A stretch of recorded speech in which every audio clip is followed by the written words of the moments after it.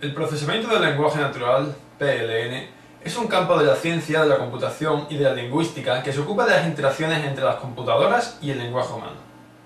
El entendimiento del lenguaje natural se refiere muchas veces como un problema IA completo, porque el reconocimiento parece requerir un extenso conocimiento del mundo exterior y la habilidad para manipularlo, y por ello se suele considerar como un subcampo de inteligencia artificial. Los algoritmos modernos de PLN están basados especialmente en el aprendizaje estadístico automático. La investigación de los modernos algoritmos PLN requiere el entendimiento de varios campos distintos. La lingüística, la ciencia de la computación, la estadística, haciendo especial hincapié en la estadística bayesiana, y también el álgebra lineal y la teoría de la optimización. Las primeras implementaciones de las tareas para el procesamiento del lenguaje implican la codificación manual de un largo número de reglas. El paradigma del aprendizaje automático a menudo utiliza inferencia estadística para aprender automáticamente estas reglas a través del análisis de un conjunto de documentos que han sido anotados manualmente con los valores correctos para ser aprendidos.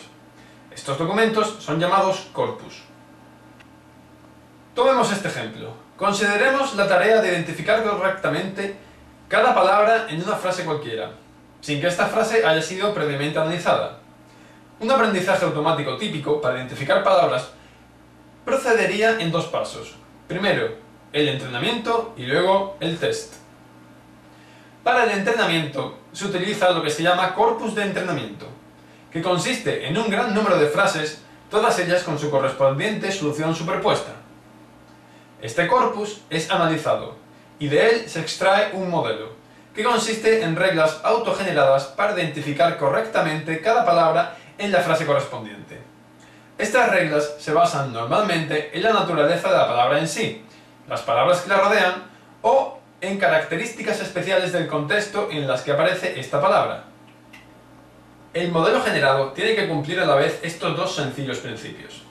Tiene que cubrir lo mejor posible todas las palabras del corpus y además tiene que ser lo más simple posible para evitar sobreentrenamiento y las reglas superfluas. Para el test utilizaremos el modelo que hemos obtenido del paso anterior y procesaremos un nuevo corpus. Es muy importante que no se utilice el mismo corpus para el entrenamiento que para el test, puesto que los resultados del test no serían fiables a ser demasiado optimistas. Hay muchas clases de algoritmos de aprendizaje automático aplicados a procesamiento del lenguaje natural.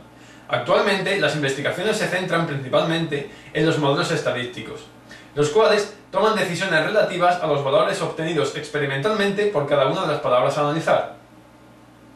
Estos modelos tienen la ventaja de que pueden discernir entre las muchas posibles respuestas, con relativa certeza de acierto, creando resultados mucho más resistentes y confiables, especialmente cuando los datos contienen errores, ya sean gramaticales o palabras que no estén correctamente formadas, como es el caso muy frecuente en el mundo real. Esto ha sido una pequeñísima y muy general introducción al procesamiento del lenguaje natural. Si deseas saber más, continúa atento a los siguientes vídeos. Muchas gracias por su tiempo.